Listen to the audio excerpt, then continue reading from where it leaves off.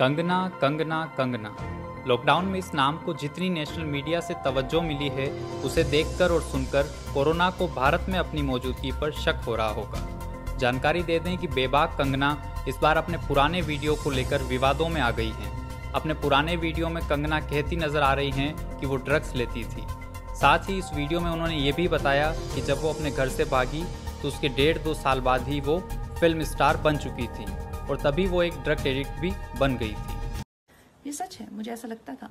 और ऐसा ही हुआ जैसे ही मैं घर से भागी डेढ़ दो साल में मैं एक फ़िल्म स्टार थी एक ड्रग एडिक्ट थी। मेरी ज़िंदगी में इतने सारे कांड चल रहे थे कि मैं ऐसे लोगों के हाथों में लग चुकी थी कि जहाँ से थी। ये सब इतना सब डेंजर हो चुका था मेरी लाइफ में जब मैं तीन एजर ही थी अभी। तो सोच लो मैं कितनी खतरनाक हूँ। अब आप सोच रहे होंगे कि सोशल मीडिया के सिपाही गड़े मुर्दे क्यों उखाड़ रहे हैं? तो आपको याद दिला दें कि अभी हाल ही में कंगना रनौत ने कहा था कि फ़िल्म इंडस्ट्री के निन्यानवे प्रतिशत लोग ड्रग्स लेते हैं।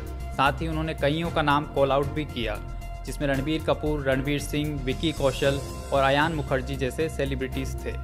चकाचक एक्सप्रेस से आदर्श की रिपोर्ट।